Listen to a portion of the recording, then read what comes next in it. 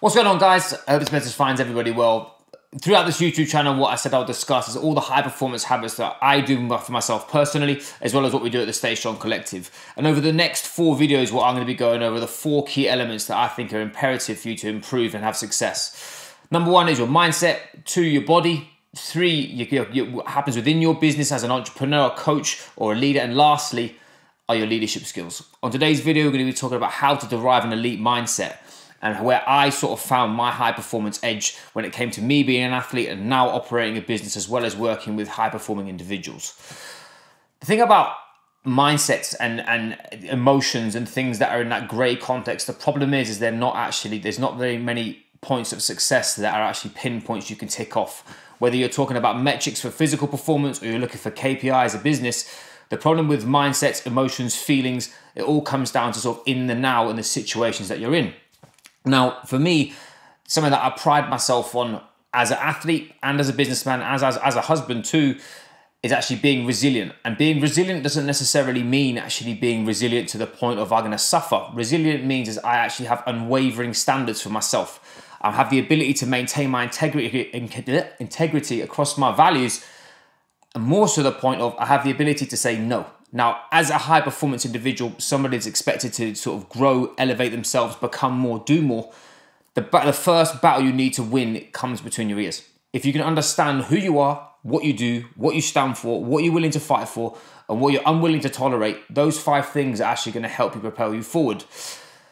Where this actually stemmed from is a very from a very early age of, of my parents, really. Um, my dad, coming from Stoke on Trent, he's from a mining family, came from nothing, moved to London with 50 quid. My mum came from a farm and she moved from Oxfordshire and moved to London.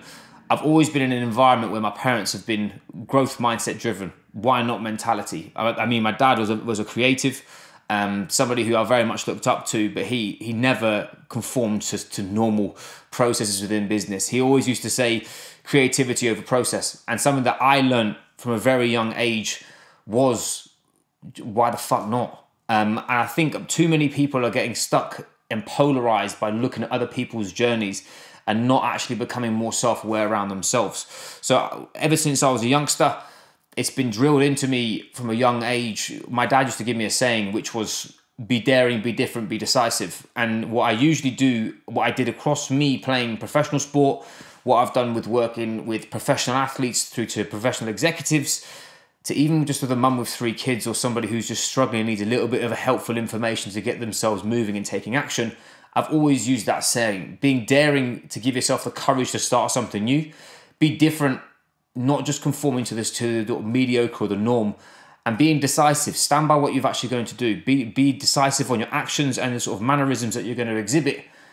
That's going to allow you to have the sort of the time and space to develop. Now, if we put a foot on a ball a second, a lot of people who are watching this will understand the difference or would have heard of either having a fixed mindset or a growth mindset. A fixed mindset is basically somebody that always looks in, which is why me now everything's crumbling around me. I can't change. The the the processes are set in stone and I can't move.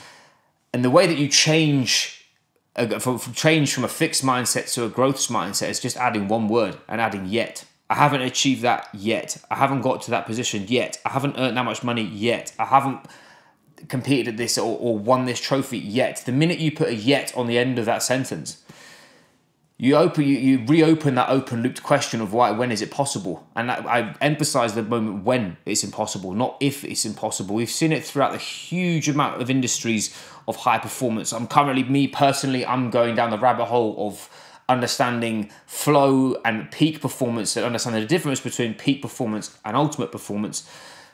Peak performance basically is optimal performance, so health, my health, your health to be the the the, the highest it can be, and uh, ultimate performance is actually where your life's in jeopardy. When you look at the people that are, that are competing on the world stages of of taking on huge challenges, uh, this is stemmed from a um, Steven Kotler did a study around surfing where 40 years ago, they were only just surfing on 50 foot waves. Now they're looking, they're regularly hitting bigger waves and doing more tricks, etc. The point is that we're adaptive.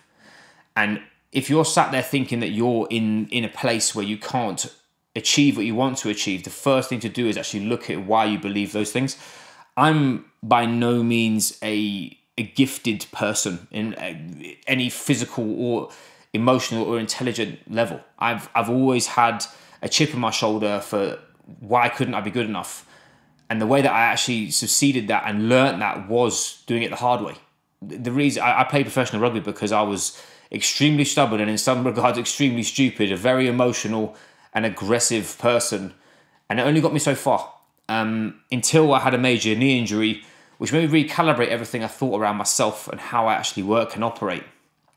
As I finished sport and as, as I got more into business and I got more into helping others achieve bigger things within their mind body business and their leadership skills of leading teams or creating culture, I soon realized that the whole point is not to be um, competing against other people. If you compete against yourself, suddenly you're looking to accomplish self mastery. And self mastery is a very, very hard topic to you to find an endpoint on because once you accomplish something, you want more. Self development is one of the best things I've ever had in my life from an emotional and a mindset standpoint. But it can also be the most polarizing. Too many people are sat there reading self help books and not taking action on them, highlighting every fucking quote possible and what they're not putting they're doing is not doing the actual do. They're not putting those things into action. They're not actually taking those those action steps and plugging them into their their film, which the film is your life, not a literal film. What they're doing is they're they're they're searching for the one little piece of knowledge that's going to unlock the, the magic puzzle. It's absolutely impossible. So when it comes down to developing a high performance mindset or developing somebody who's resilient or developing someone who can lead from the front and continually without losing their shit the key thing to distinguish is what's the end in mind? What's the definition of done? What are we actually trying to achieve? But a, a true hot, high performer, a true person who has the ability to, to lead huge companies, comes down from being more self aware. Too many people rely on confidence to have the ability to take action. The problem with confidence is it can be broken. And if you break somebody's confidence, usually everything else subsides. Their actions, their behaviors all go downhill. If you become more self aware, though, you have the ability to be resilient because you take away the stress response of being wrong or being scared or whatever, and you, ch- you change it to a challenge response.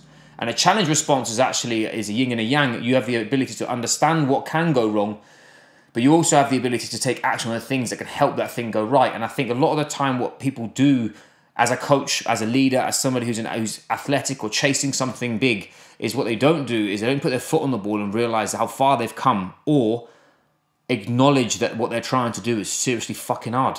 And if it's seriously fucking hard, it's supposed to be. It's not supposed to be easy. If you're trying to change from a from a behavior standpoint, it's also going to be extremely difficult. So, what I'd like you to do are these three things, and three things that I learned massively through uh, NLP and my my years of coaching are currently the emotions that you have. Are they real? Or are they actually a frame in which you're putting them in in your situation? Number two, what are you going to do about them? Rather than sitting there feeling overwhelmed, burnt out, pissed off, not happy, etc. What's your next action step to actually shake shake that that part of of your journey to help you take action towards whatever you're trying to achieve? And lastly, one thing that I've learned is why so serious. I think too many people that are chasing high performance or too many coaches that want to be better, do better, earn more money, etc. Athletes trying to achieve the inevitable, like, achieve greatness they don't actually enjoy what they're doing. They, they're too busy finding the peak of whatever summit they're trying to climb and then searching for the next one rather than realizing that you're actually forged from the journey rather than the outcome, which is a very cliche thing to say. But until you've been in the position and you've achieved the things that you've asked for, it's impossible for you to actually see the wood from the trees and be able to distinguish that fact. So I hope that's helpful. Next one we're going to go over is how I developed my myself from a high performance standpoint when it comes across my body as an athlete. And I hope that was helpful. I'll catch you guys soon.